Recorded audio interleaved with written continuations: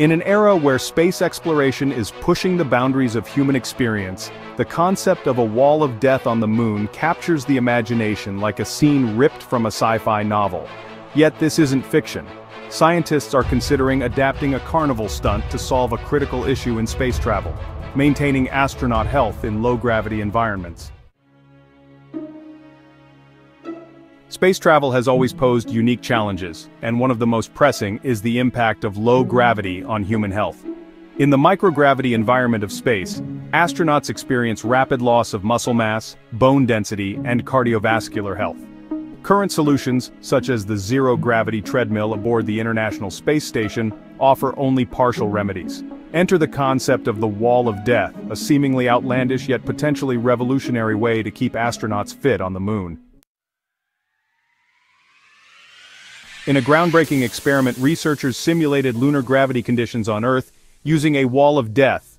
Volunteers, attached to bungee cords to mimic reduced lunar gravity, successfully ran at speeds sufficient to generate centrifugal force, keeping them stable on the wall.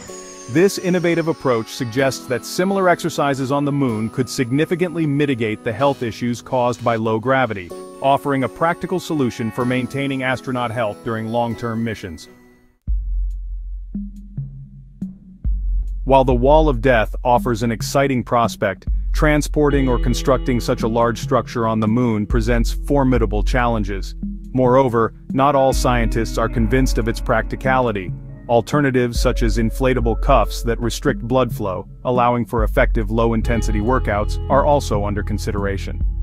These methods could potentially provide similar health benefits without requiring extensive space or complex equipment. The exploration of such innovative fitness solutions is crucial as we plan for future lunar missions and the eventual permanent human settlement of the moon and other celestial bodies. The Wall of Death not only represents a potential leap in astronaut healthcare but also symbolizes the limitless potential of human ingenuity in overcoming the challenges of space travel. As research continues, the dream of sustainable life beyond Earth draws ever closer to reality. This blend of carnival thrill and scientific inquiry may soon pave the way for healthier, more robust communities living off Earth, marking another giant leap for mankind in the cosmic arena.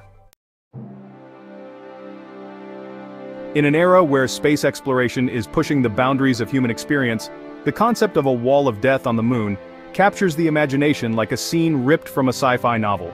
Yet, this isn't fiction, scientists are considering adapting a carnival stunt to solve a critical issue in space travel, maintaining astronaut health in low-gravity environments.